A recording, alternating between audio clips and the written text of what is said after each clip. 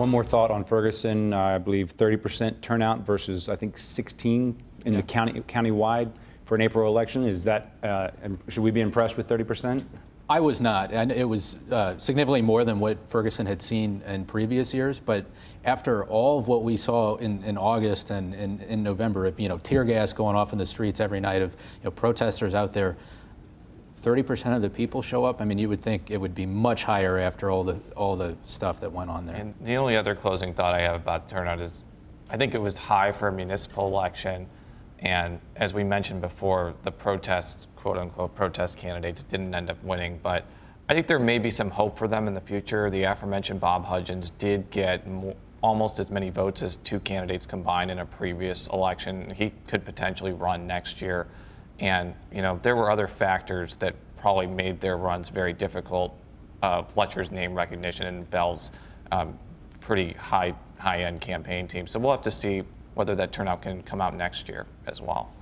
Let's skip across the river for just a second to East St. Louis. Emeka Jackson Hicks is now the mayor of East St. Louis. Uh, upsetting, I guess you would have said at least uh, before all the uh, the kerfuffle that happened with the ballot. Uh, the former mayor Alvin Parks. What's going on there? Can a mayor make a difference in a city that I think that the troubles are well documented? It's tough. Uh, East St. Louis, you know, I've, I've been there I've covered many things there, and you do sit back sometimes and wonder how could somebody take control of this? How could you improve the many challenges that face East St. Louis? Uh, Alvin Parks has been mayor for two terms. He comes from a political family that's been there for a long time. So does Miss Jackson Hicks. Uh, you know, her you know, relatives, Eddie Jackson, who's a, a, a state representative there. I don't think much is going to change based on who's the mayor in the past. You know, we've seen East St. Louis has gone through a number of mayors. You know, Carl Officer was mayor for there a long time and had many scandals.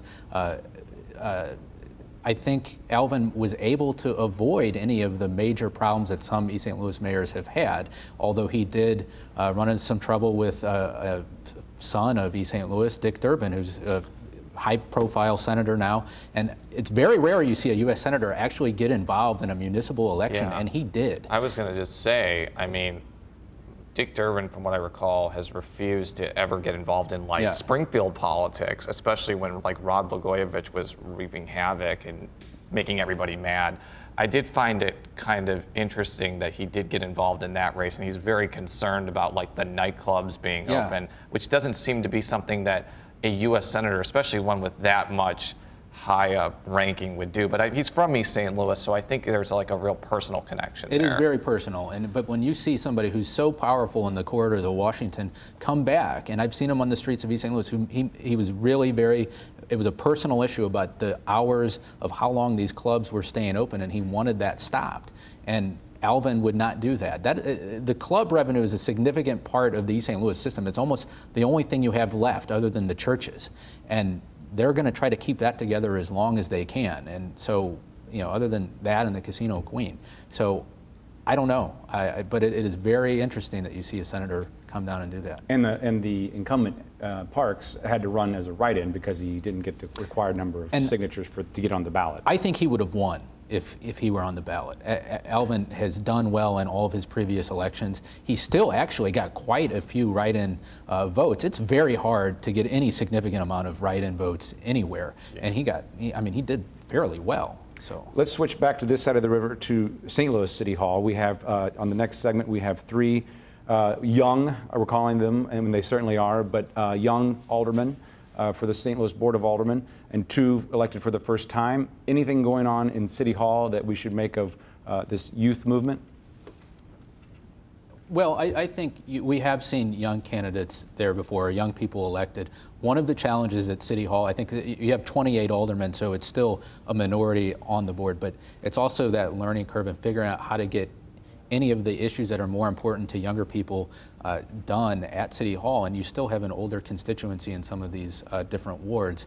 Uh, it, it, it is interesting, though, to see that, you know, we have uh, the new alderman, Jack Coatar, who's going to be here, uh, who represents downtown. So these are high-profile wards, too. These are important, you know, things that get a lot of attention.